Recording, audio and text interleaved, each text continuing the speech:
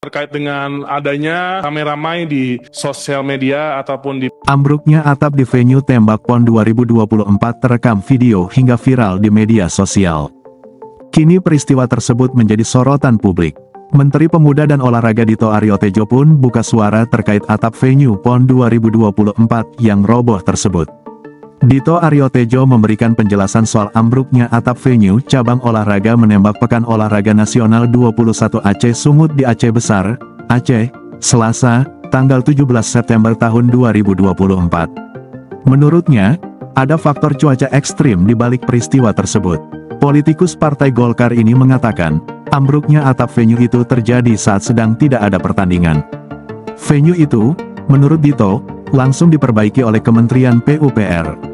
Ambruknya atap venue cabang olahraga menembak PON 21 Aceh Sumut terjadi pukul 9 waktu Indonesia Barat, Selasa, tanggal 17 September tahun 2024. Dari video yang dikirimkan atlet kontingen Jawa Timur, Raffi Arofah Dirgantari, terlihat beberapa atlet dan staf sedang merekam kondisi dalam bangunan yang bocor. Tiba-tiba, atap venue roboh dan jatuh bersamaan dengan air hujan. Sejumlah atlet dan staf berteriak dan berlari menghindar.